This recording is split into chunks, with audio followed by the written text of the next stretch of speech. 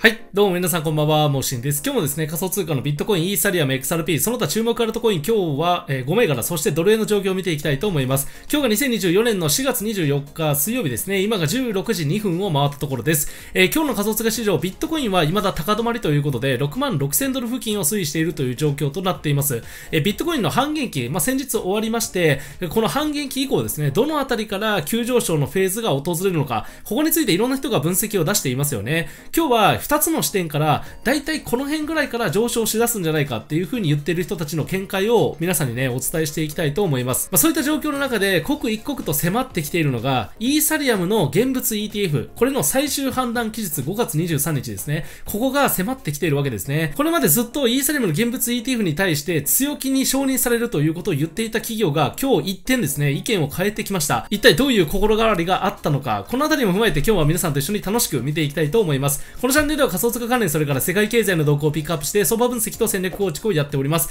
毎日注目銘柄ピックアップして分析したりしていますので、ぜひポチッとチャンネル登録よろしくお願いします。で、これから仮想通貨始めたいという方に関しては、僕も実際に使っているおすすめの取引所以下の概要欄にいくつか載せております。現物から始められる方は、バイビット、ビットゲット、この2つが一番おすすめです。えー、今ちょうどキャンペーンもやっておりますので、もし興味のある方は以下の概要欄チェックしていただければと思います。で、僕が運営しているトレードスクールグローウェイズ、えー、昨日、おとといからですね、募集を開始しておりまして、今回も4月度の募集50名限定で今週の日曜日まで募集ページ開けておりますので、どんなことが学べるかに関しては、昨日の動画、そして以下の概要欄チェックしていただければと思います。それでは今日の仮想通貨市場の動向から見ていきたいと思います。はい、動画に入る前に1点だけお知らせで、そのバイビットなんですが、今初めての入金祭りということで、新規登録プラス100ドル入金で、最大6000相当のボーナスがもらえるというキャンペーンをやっております。まずは以下の概要欄から新規登録をしていただいて、このキャンペーンページ、概要欄に貼っておりますけども、そこから、えー、この今すぐ参加登録、このボタンを押した後に入金ですね。この手順でボーナスもらうことができますので、ぜひこの期間にですね、チャレンジしてみていただければと思います。はい、今日の仮想通貨市場ですが、ビットコインが今1034万ということで、0.4%上昇。イーサに関しては50万4000円ということで、2.5%の上昇となっています。まあ、その他アルトコイン市場を見てもほとんどですね、動けてないという状況が続いていますよね。まあ今下から若干反発した中で、さらに一段上を試せるのか、それとももう一回下がってくるのか、え、このあたりを個人的な見解を踏まえて分析していきたいと思います。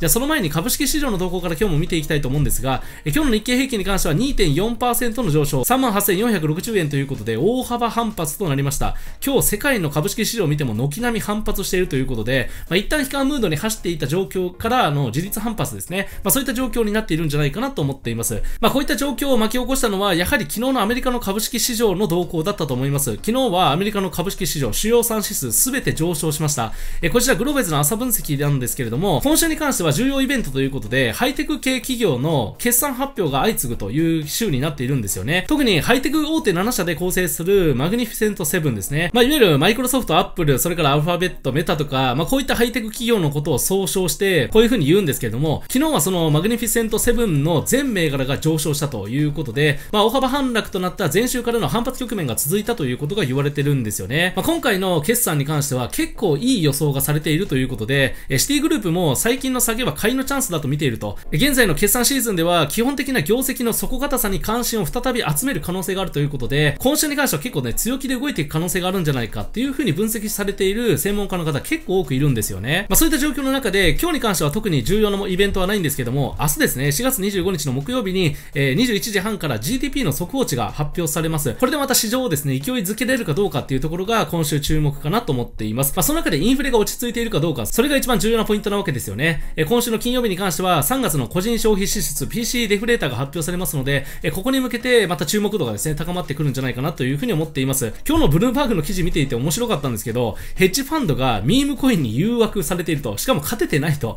いうことを言っていて、え、まあ300倍に急騰した銘柄もね、いくつか散見されますけれども、そういった銘柄に目を奪われているということがね、これブルームバーグの記事で上がってるんですよね。まあ、特にヘッジファンド業界はミームコインの誘惑に抗えていないということが言われていまして、結構手をつけているということも言われてるんですよね。仮想通貨ファンドのパンテラキャピタルも、ミームコインは今後定着していくだろうと。ミームコイン取引は途方もない機会を生み出すというふうな投稿もしていて、意外とこのミームコインの熱狂、ヘッジファンドにもちゃんと届いているということが言われてるんですよね。まあ僕はミームコインの取引、もう極力やらないようにしているんですけれども、もし触る方も、特にドッグビーフハットとか、もうすでにめちゃくちゃ上がってしまった銘柄とかもあって、ボラティティ本当に半端じゃないぐらい、えー、動いていますので、もし触るのであればしっかりね、警戒感を持って触るっていうことが大事かなと、小ロットでですね、触るのをお勧めしたいかなというふうに思います。じゃあ、ここから仮想通貨関連のニュース見ていきたいと思うんですが、まず一つ目、えビットコインの価格が急上昇するタイミングは半減期から50から100日後じゃないかということを QCP キャピタルっていうところがですね、分析レポートを出しているんですよね。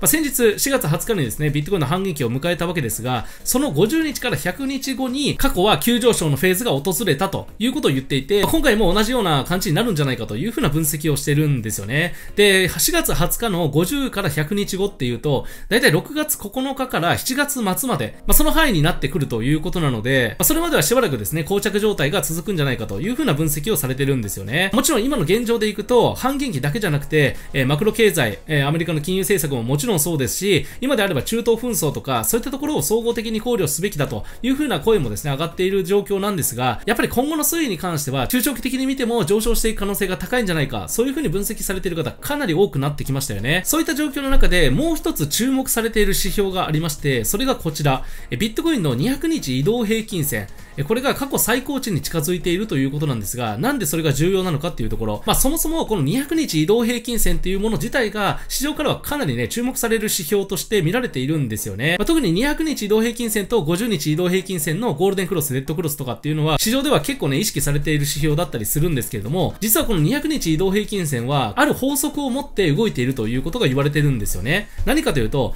この200日移動平均線がビットコインの過去最高値を更新した時、そこから急上昇が始まっているということを言っています。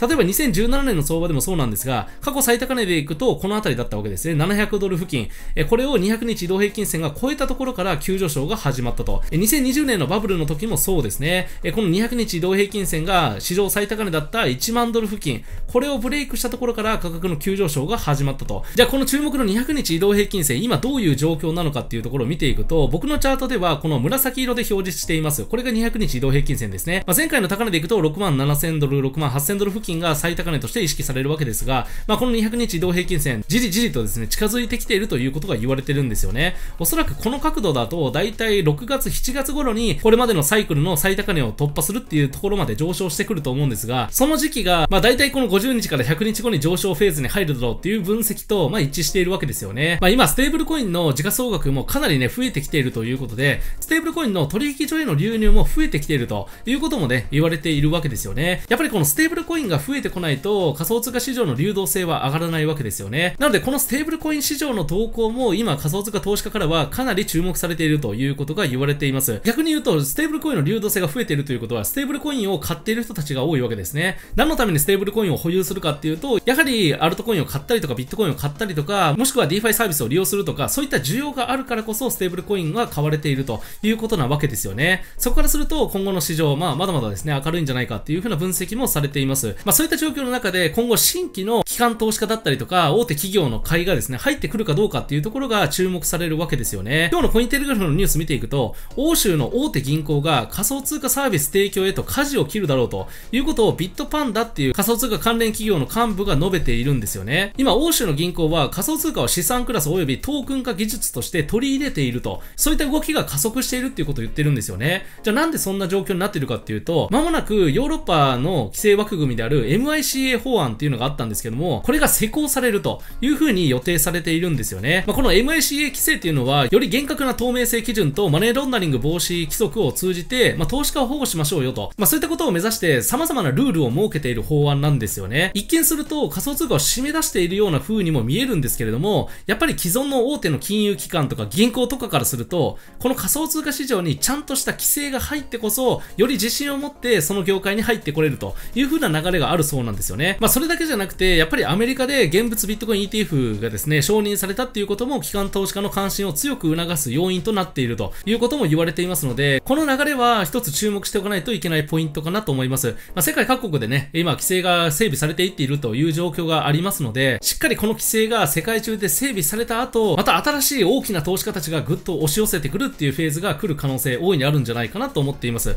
あ、そういった点で言うとアメリカはちょっとね、遅れているような感じがしますよね。まあ、SEC が仮想通貨規制ガンガン進めていて、バイデン大統領も直近で仮想通貨のマイニング企業をまた締め出そうとする動き、これをね、加速させようとしている状況なんですよね。まあ、そんな中で5月、えー、イーサリアムの現物 ETF が承認されるかどうか、その最終判断期日を迎えるということで、そちらにもかなりね、注目度が集まっている状況なわけですよね。ただ、その5月の承認の可能性は非常に低いんじゃないかと、えー、そういう風な分析をされている方が多いです。今日そういった発言をしたのは、スタンダードチャータード銀行、まあ、イギリスの大手投資銀行なわけですですけれども、実はスタンダードチャータード銀行って、これまでは5月に SEC がイーサリアム現物 ETF 承認するだろうと、かなり強気で見解を述べていたんですけれども、ここに来て一点ですね、5月承認の可能性は低いと、えー、意見を転換してきました。まあ、ただもちろんビットコインやイーサリアムに対して中長期的に上がらないとか、そういった話をしているわけではなくて、ビットコインに関しては今年の年末に15万ドルまで行くだろうという予想は維持しています。まあ、ただ、直近のやっぱり SEC の動き方を見ると、この5月の23日に承認させようという風にこう頑張って動いている感っていうのは全くないわけですよね。まあ、SEC もイーサリアム財団を調査しているという報道があったりしますので、僕も結構ね、5月に承認されるんじゃないかなって思っていたんですが、ちょっと厳しそうな雰囲気感じてきている状況かなと思います。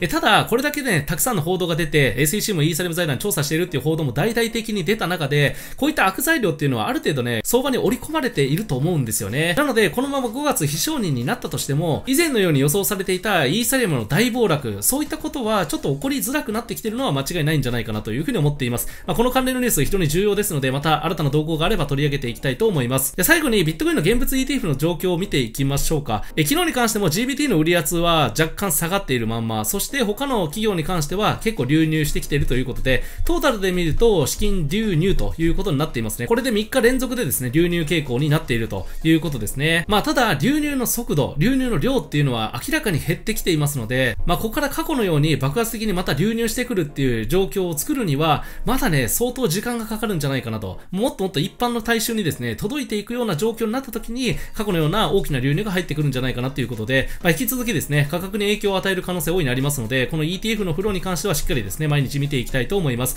で最後にビットコインの板の状況なんですが、今買い板が非常に熱くなっています。えー、売り板見ていくと、だいたい67,800付近、えー、この辺りがね、明確に熱くなっていますね。あとちょっと飛んで68,300、これも重要な抵抗ラインとして機能するポイントですけれども、ここも売り板がですね、結構熱くなっているという状況が確認されています。一方で買い板見ていくと、だいたい6万6000ドル付近まで結構熱いですね。あと、そこからですね、6万5500とか、えー、それから6万5300、この辺りも結構ね、熱くなっているということで、引き続き底堅い動きが展開されるんじゃないかなという今のところ予想できます。えー、こういった外部環境を踏まえて、今日の相場分析入っていきたいと思います。はい、じゃあまずはビットコインの冷やしから見ていきたいと思います。今のビットコインが6万6800ドル付近ということで、まあ、ここ1週間ですね、ずっと続伸してきたわけですが、目先では若干止まっているという動向が確認されています。えー、これ価格帯別出来高見ても、ちょうど上にですね、6万7000付近、結構出来高上がっていますので、ここで結構意識された動きが起こっているっていうところが、まあこれで示唆されているわけですね。一方で下に関してはこの辺り、ここの価格帯別出来高も上がっていますので、やっぱり今上下にですね、挟まれている動向になっていると、この2つの起点をどちらかに抜けたところから大きな変動につながってくるというふうに今のところを見ています。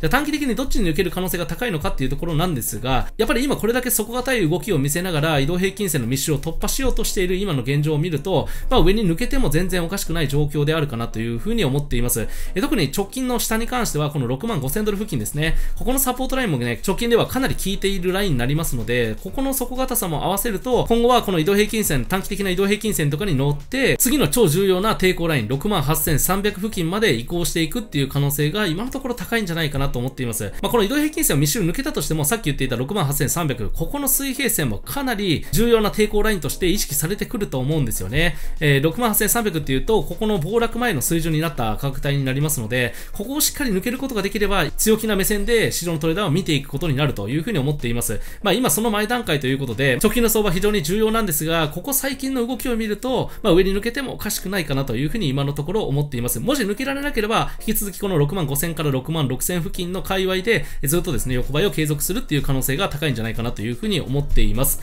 イーサに関しては3260ドルということで、えー、ここ3日間続伸という状況となっています。やはりこの3000ドル付近守ったっていうのは結構でかかったですよね。えただ連日お伝えしている通り、まだイーサリアムに関しては下落トレンド中ということになっています。上に関しては3500ドル付近、ここに超重要なですね、え抵抗ラインが引かれているということもありますので、まあ、今の価格帯3260付近も一旦の抵抗ラインとして機能しているんですが、これを突破できれば3500まで急進すると、えー、そこでどうなるかですよね。これを抜ければ、えー、上昇反転したというふうに判断する方が多くなってくると思いますので、また強気の相場に戻っていくと。まあ、そんな風な予想をしております。ここ最近の動きを見ると、やはり底堅い動きは継続するんじゃないかなと今のところ見ております。えー、それから XRP、えー、ここ最近ちょっとね、上昇してきたんですが、今が55セント。まあ、言っていたこの55セントから60セント付近の抵抗体、そして、ここに移動平均線が密集しているということもあって、なかなか上に行けない状況が続いていますよね。まあ、ここからの推移で重要なのは、この55セント付近でちゃんと張り付いて横ばいを継続できるかどうかっていうところが重要ですよね。ここでまた売り叩かれて、ガクッと下がってくる40セント台までまた戻ってくるってなると、やっぱり上は相当重たいんだっていう意識の中で、またしばらくですね、長い間横ばいを継続するっていう可能性も出てきます。今短期的に見ると、20、50、100MA は一応抜けていきましたので、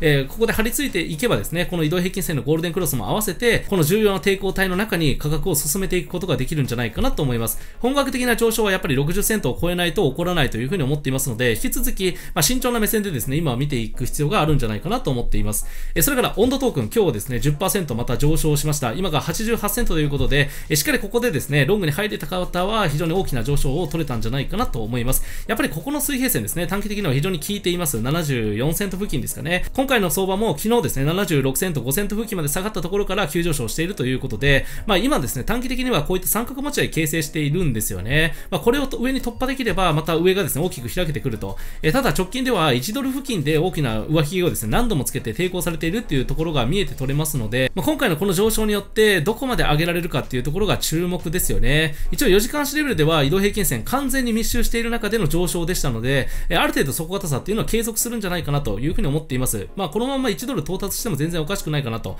いうふうに今のところ思っているんですよね。まあ、問題なのはこの1ドルでどういう風な動きを見せるのか、前回みたいに大きく下がるのであれば、しばらくここでのレンジ相場が続くという風に思うんですけれども、まあ、今回1ドルに到達して、あんまり下げてこないと、まあ、この1ドル付近で揉み合っているみたいな状況になると、過去とは明らかに違う傾向になってきますので、そこから1ドル突破、使用最高値を更新するっていう可能性も大いにですね、出てくるんじゃないかなというふうに思っています。えそれからジト。ジトに関しては、ここ2日間大きく反落しましたが、一応この辺りの水平線ですね、3.2付近、今が3.34ですけども、その辺りで一応サポートされているというふうな短期動向となっています。まあ、こちらについても、かなり強いですね、需要の中で直近一気に上げましたので、まあ、ここのラインはね、非常に重要な抵抗ラインだったということで、一旦反落されていますけれども、まあ、3.2ドル、3.1ドル付近までで止まって、またですね、横ばいを継続する、もしくはここの抵抗ラインを突破していくっていう、また強いですね、動きが、えー、見られるんじゃないかなというふうに思っています。まあ、とりあえず目先に関しては、この3.1ドル付近を固めに行くような推移になるんじゃないかなと今のところ予想しております。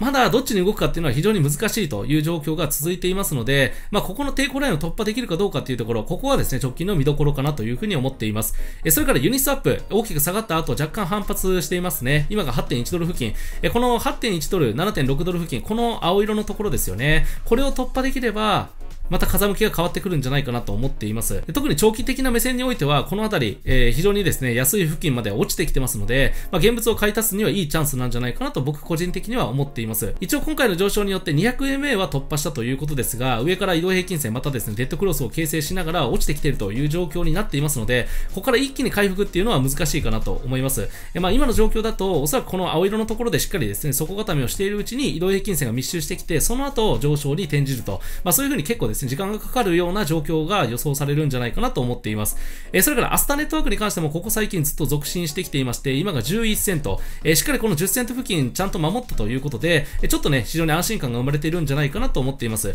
今のところ 200MA と 20MA、えここをですね、突破できるかどうかっていう重要な局面に来ていますけれども、まあ、4時間足レベルではこんな感じで20、50、100MA 抜けて、まあ、相場転換してもおかしくないような状況にはなってきてるんですよね。えまず目先に関しては11.9セントのこの青色の上限値、ここをしっかり抜けて、200MA も超えて移動平均線をちゃんと下に味方につければ、え次の抵抗ラインですね、まあ、15セントとか、そのあたりまでは伸びていくんじゃないかなというふうに今のところ思っています。えそれから柴犬、今がですね、末尾2721というところまで来ています。えこの柴犬がですね、直近この高値の切り下げラインを抜けようとしているんですよね。まあ、いつ大きく跳ねてもおかしくない状況で推移しているというふうに言えるんじゃないかなと思います。特に4時間足レベルで見ると、移動平均線が密集、ゴールデンクロスを形成する中で、上に張り付いてますよね。まあ、このあたり、特に末尾2800 300付近って結構重要な抵抗ライン、えー、引かれているわけですけれども、ここを突破できれば一気に3000、えー、3000を超えるようなですね、上昇に移行していく可能性が高いんじゃないかなと思っています。で、この状況で3000をまた突破できれば上が大きく開けてきますので、また大きなですね、上昇につながっていく可能性が高くなるということで、まあ、直近の相場、まず3000ドルまで到達して、そこを超えられるかどうかっていうところが、えー、重要なポイントになってくるんじゃないかなと思っています。最後ドル円なんですが、今が154.91ということで、まあ一応続伸ですよね。じりじり上がってきていると。えー、もちろん為替介入の警戒感っていうのは高まっているとは思うんですが、それよりもやっぱりドルが買う動きっていうのは止まってないんじゃないかなと思っています。今 DXY 見てもね、えー、非常に強い動きが形成されていますので、まあ、ドル買いが進行中ということが言えるんじゃないかなと思います。まあ、昨日もお伝えした通り、156円、7円っていうところまで行くと、上昇平行チャレンジの上限値としての意識も働いてくると思いますので、一旦利確調整される可能性があると。まあ、逆に言うとそこまでは、ロング勢強気でですね、えー、ポジションを保有していくんじゃないかなというふうに思っていますので、引き続き上目線、えー、短期的にも調整されたとしても、もこういった感じで下髭を伸ばして上に反発するっていう動きがですね、続くんじゃないかなと予想をしております。ということで今日は8通貨、そしてドル円の状況を見てきました。まあ、仮想通貨市場も底堅い動きを形成している中で、今週アメリカの、まあ、経済指標発表、それと決算発表、ここでアメリカ株が一気に強含めば仮想通貨市場にもチャンスが訪れるんじゃないかなと思っています。まあ、そのあたりの最新動向は日々の動画の中でしっかりですね、キャッチアップしていきたいと思いますので、ぜひ毎日見ていただければと思います。ということで今日の動画はここまでにしたいと思います。えビットゲットが出しているビットゲットウォレット、えここでビットゲットウォレットトークンがエアドロされるということが発表されています。もう残りあと4日くらいになってきましたけれども、今のうちにダウンロードして僕の紹介コードを入れていただくと、このポイント50ポイント無料でもらうことができます。100USDT 相当のスワップを3日間すれば、この50ポイントがゲットできるような感じになっておりますので、まだダウンロードしてない方はぜひお早めにですね、以下の概要欄からチェックしていただければと思います。最後までご視聴いただきありがとうございました。